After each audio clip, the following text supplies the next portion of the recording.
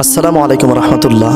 আপনি যদি মোহব্বতের সহিত যে কোনো দুরুদ শরীফ একবার শুধু ভালোবেসে মোহব্বত করে একবার দুরুদ শরীফ খানা পাঠ করেন, ওই দুরুদ শরীফ সারা পৃথিবীর পূর্ব প্রান্ত থেকে পশ্চিম প্রান্ত পর্যন্ত ছড়িয়ে বেড়ায় এবং আল্লাহর আঠারো হাজার মাখলুকাত, আশি হাজার আলম, আল্লাহর সকল সৃষ্টি, আসমান, জমিন, চন্দ্র, সূর্য, একবারে যা যা আছে, সব কিছুর কাছে গিয়ে আপনার জন্য দোয়া করতে থাকে যে, অমুকের ছেলে অমুক, আল্লাহর রসুলের অমুক উম্মত, আল্লাহর রসুলের উপর দুরুদ শরীফ পাঠ করেছে। আর আমি সেই দুরুদ তোমাদের কাছে দাওয়াত দিচ্ছি, তোমরা তার জন্য দোয়া করতে থাকো।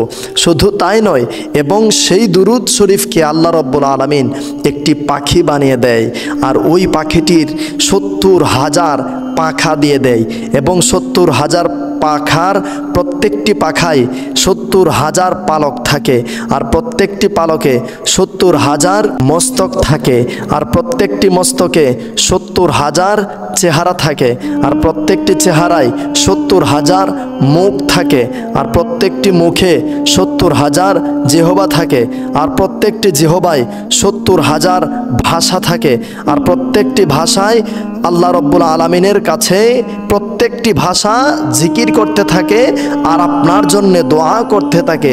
এবার চিন্তা করুন, একবার যে কোনো দুরুদ শরীফ মহব্বতের সহিত পাঠ করলে কত সওয়াব হয়। সুবহান আল্লাহ হামদি ওই সত্তর হাজার ভাষা মিলে আপনার জন্য রহমত মাগফেরাত নাজাতের জন্যে, আপনার নাজাতের জন্যে সত্তর হাজার ভাষা দোয়া করতে থাকে। আপনার জন্যে, আপ- আপনার বাবার জন্যে, আপনার ফ্যামিলির, আপনার পরিবার, পরিজনের জন্যে ওই সত্তর হাজার ভাষা দোয়া করতে থাকে।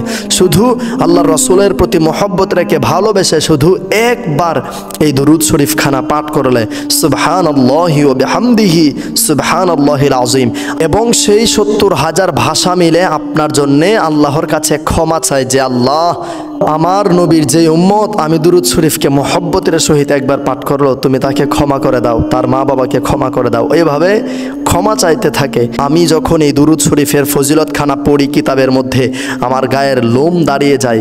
বিশ্বাস করেন, আমার গায়ের লোম দাঁড়িয়ে যায় যে, আল্লাহর রসুল সাল্লাহ আলহিহাসাল্লামকে আল্লাহ এত ভালোবাসেন।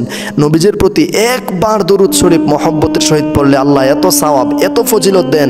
সুবহান আল্লাহ হামদি প্রিয় ইমানদার ভাই বোনেরা এগুলো আমার কথা নয়, আল্লাহর রসুলের কথা। কিতাবের নাম তাজকেরাতুল ওয়াইজিন সাতাশি পৃষ্ঠা, এর সূত্রে মাওয়াজে রেজভিয়া স্রষ্টম খণ্ড আষট্টি পৃষ্ঠার মধ্যে এই হাদিসে মোবারকখানা উল্লিখিত রয়েছেন। প্রিয় ইমানদার ভাই বোনেরা এই দুরুদ শরীফ খানার ফজিলত শুধু আপনি শুনবেন, অন্য ভাই বোনদেরকে শোনার সুযোগ করে দেবেন না। এজন্য বলছি, আপনি নিজে শুনুন, নিজে আমল করুন এবং আপনার শেয়ারের মাধ্যমে যেন অন্য ভাই বোনেরা নিজে শিখে আমল করতে পারে। তাই ভিডিওটি বেশি পরিমাণে ঝড়ের গতিতে শেয়ার করে ছড়িয়ে দিন। আসসালামু আলাইকুম ওরহমতুল্লাহ